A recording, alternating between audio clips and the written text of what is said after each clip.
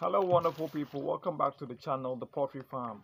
My name is Mr. Akol, and that is it. I would love to thank all the subscribers so far and also encourage those who have not subscribed to subscribe because actually, this is where we get the most relevant poultry information. Without wasting my time, let's get straight to business today. Today, we're going to talk about how to make profit in poultry farming. How to make profits in poultry farming. There are two ways to make profit in poultry farming. That's the laying production profit and the post-production profit. The laying production profit is actually when your birds are laying, you need to make money. And after your birds are finished laying, you need to make money. So let me start with the laying production profit. Basically, every farmer raises the chicken from day one to the very week that they start to lay. The moment they begin to lay, it simply tells you that you've transformed the chickens into a laying machine. So now that you have a laying machine and egg machines, what you're going to do is you're going to use the what you put in, you must get what you put in out with profit. That's going to be the trick. So when you invest one bag of feed which is costing 400 cedis you must know that you must get more than 400 cedis And the rest is going to be minus expenses, your what? Your net profit. So when I invest one bag of feed which is costing 400 cedis and I get 600 cedis it tells me that I have made profit. That's the gross profit of 200 cedis. So the more I feed them, the more I get more gross profit of 200 cedis. That will subsidize my utilities. So the laying production stage profit is all about you making sure that the feed that you are consuming, you are getting more than what they are consuming. Because the moment you don't get what they are consuming and in excess, then you are making some losses. Indirectly, because at the moment you wouldn't see it, but after the production, you realize that you had nothing. So basically, that's how the laying production profit is being made. So it's all about making sure that your feed costs you are going to get more than that in the egg production. And as it stands, most farmers ask that I have so much chickens and I need to buy like let's say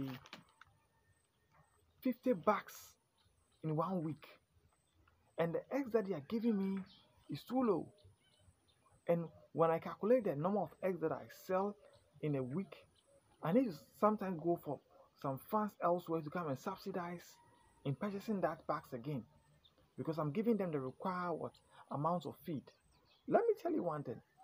You see, I have I have said this in my previous videos that it is not the number of chickens that you have that is going to make you profitable. No. It is not the number of chickens that you have that's going to make you profitable. It is the number of eggs that you collect. So somebody can have 500 bears, somebody can have a thousand bears, and somebody collect with 500 bears will be making more profit than the one with 1000 bears. So it is about the number of eggs that you collect. So as a farmer, in order to make profit, you must be more focused on your production as in the number of eggs that you collect and not the number of birds that you have. So whenever you see your eggs decline, it gives you that indication that you need to work something out to improve your your laying percentage. So when the laying percentage is in 75, 85, 90, you know that definitely you are making profit. But when your percentage is actually at 55, 65, then you know that there's a problem. So whenever you, you have like a thousand birds and you're having just 60%, remember that the 60% taking care of the 40% is going to close you in. It's going to close you in as time goes on. You can't actually provide for them moving moving forward. So in order to make profit, you must make sure that you pay attention to your feed costs. Make sure you are getting more than the cost that you spend on feed, more than that in excess. And make sure that your laying percentage is high, above 75. Above 75. Because when it is around 75, you know you are getting the cushioning. That's how you you are assured that you're making profit. But when your percentage is below 50, 55, you know that it is all going back into the chicken production. And you are getting nothing at the end of the cycle.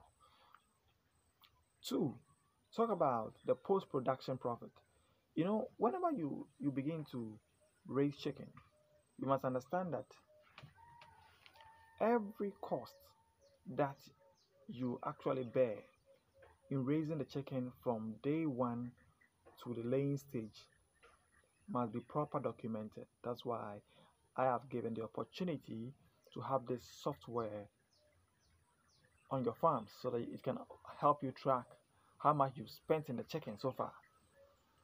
So that when it gets to the post production profit, you understand that my bears are old. I want to sell them. But actually, when I go back and I check the amount of money that I spent in raising them from day one to day to week 24, I realized that I spent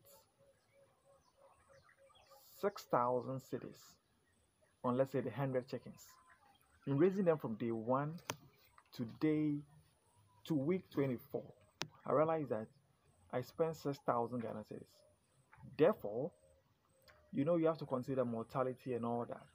So you presume that you're going to sell, let's say, 90 of the 100 chickens. So it's going to be 6,000 divided by 90. And you're going to see how much one bed is costing at that moment. How much one bed will cost at that moment. So you realize, let's say, let's say for example, because I'm not doing this just math. so one is costing 65 cedis. One is costing 65 cedis. So when one bed is costing 65 cedis, then you ask yourself that when you sell each bed for 65 cedis, you're going to make your 6,000 cedis. But what are you getting as profit. Then you add a margin. Let's say I want 10 10 cedis on that on, on, on that on each one. So you add 10 cedi each, which is bigger than 75 cedis. Therefore, when you sell 75 cedis per bed, you're actually going to understand that you're making a profit of 10 cedis, which gives you room for profit. So you realize that 10 cedi by the 90 is 900 cedis. So you're going to get your production cost money and a profit of 900 extra 900 cedis after collecting all the eggs in the mm-hmm. cycle. So you realize that so you basically understand that you are getting extra profits for that. So after collecting all the eggs in the laying production cycle and making extra profit on each egg that you sell, you're going to make another profit on each bed that you sell. Isn't that amazing?